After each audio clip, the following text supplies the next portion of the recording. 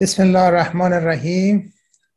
سلام بر همه عزیزان در هر کجای عالم که هستید. برآمد باد صبح و بوی نوروز به کام دوستان و بخت پیروز. مبارک بادت این سال و همه سال همایون بادت این روز و همه روز.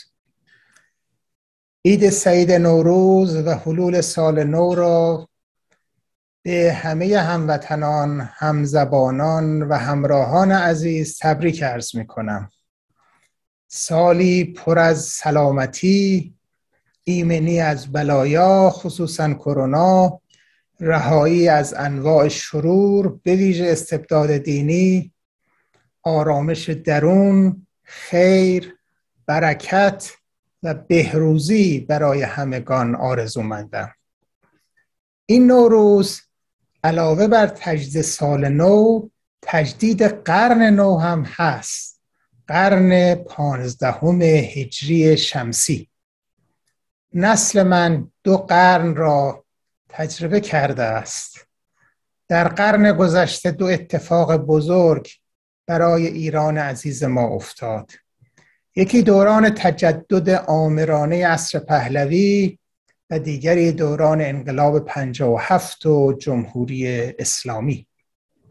بعد از این همه کوشش و مجاهدت نه ادالت خانه داریم نه حکومت قانون. هنوز هم یکی به اسم اعلی حضرت همایونی یا مقام معظم رهبری به نام ملت ایران تصمیم می‌گیرد.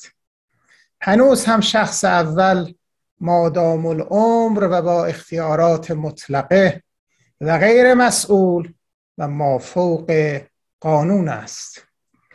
استبداد و خودکامگی سکولار در عواست قرن گذشته به استبداد و خودکامگی دینی تبدیل شد. برای رهایی ایران و اسلام از شر جمهوری اسلامی یک راه بیشتر نیست. و آن مراجعه به همه پرسی است. اطمینان دارم که اکثریت قاطع ایرانیان جمهوری دموکراتیک سکولار را انتخاب خواهند کرد که در آن نهادهای دینی از قبیل حوزه مسجد و روحانیت از نهاد دولت جداست. در ایران آزاد ولایت فقیه خامنه ای و سپاه جایی ندارد. روحانیت باید به مسجد و حوزه بارد گردد و سپاه به پادگان. جای هیچ کدام سیاست نیست. ایران باید بر اساس منافع ملی توسط نمایندگان واقعی ملت ایران اداره شود.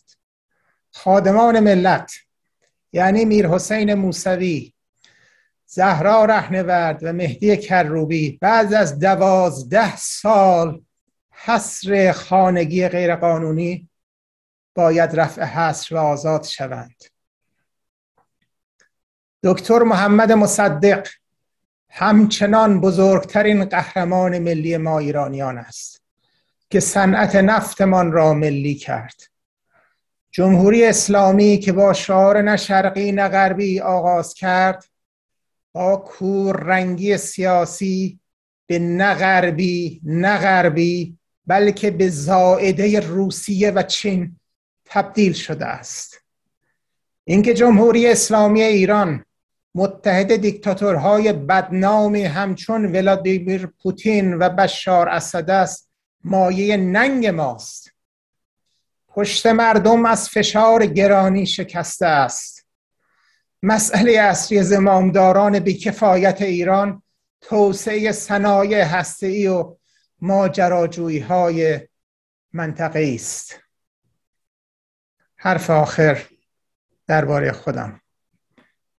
نیمه شب دوشنبه 16 اسفند بدون هیچ سابقه بیماری در نخستین سفر بعد از دوران کرونا در پاهایم احساس درد شدیدی کردم و دیدم نمی‌توانم درست راه بروم.